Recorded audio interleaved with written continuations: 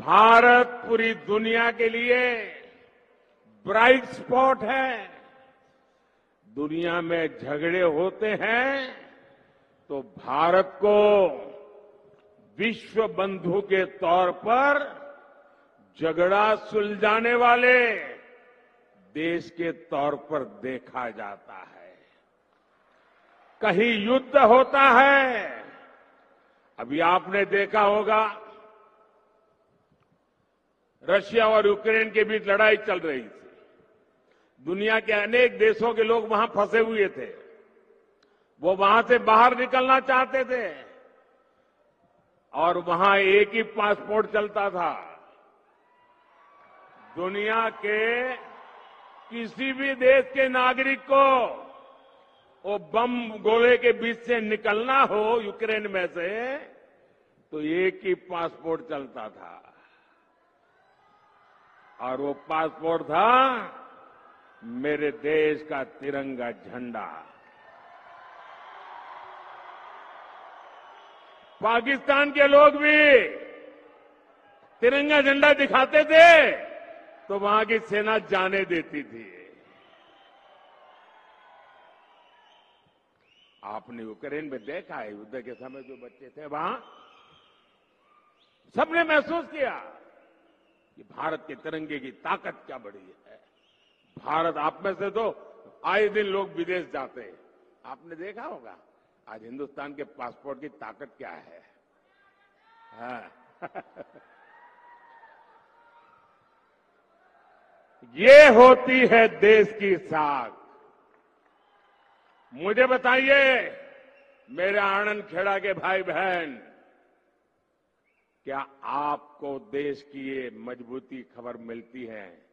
गर्व होता है कि नहीं होता है? दुनिया गर्व करती है तो आपको गर्व होता है कि नहीं है? आपका माथा ऊँचा होता है कि नहीं होता है? लेकिन ये कांग्रेस, वो क्या कर रही है? कांग्रेस सिर्फ़ रोती बैठती है। और मोदी को गाली दो। डिक्शनरी खोज खोज के रोज नई गाली निकालते हैं, रोज नई गाली निकालते हैं। और कांग्रेस आज मोदी देश को एक करने के सरदार के सपने को पक्का कर रहा है। कांग्रेस देश को बांटने में जुटी है। कांग्रेस समाज में लड़ाई झगड़ा कराना चाहती है।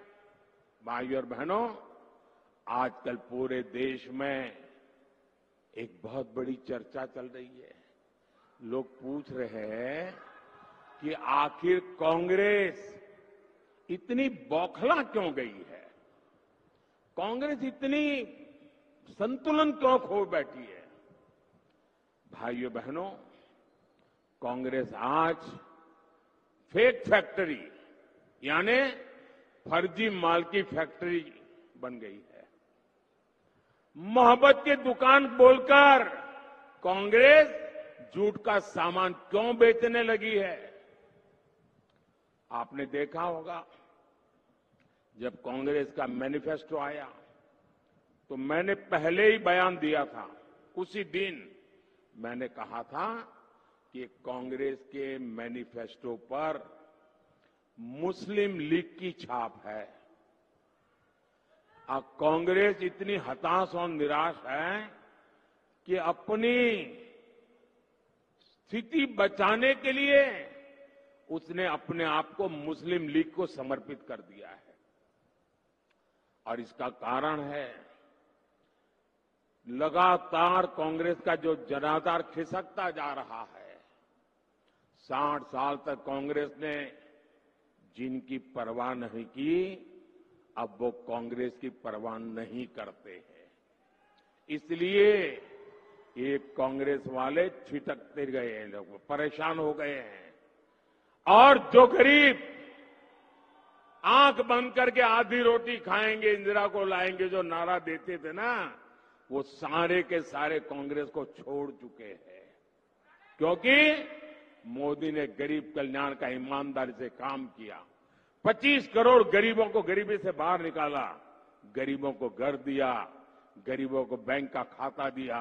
गरीबों को रोज़गार के अवसर दिए। आज़ादी के बाद कांग्रेस ने गरीबों को अपना चुनाव का एजेंडा बनाया। हर चुनाव में नेहरू के जमाने से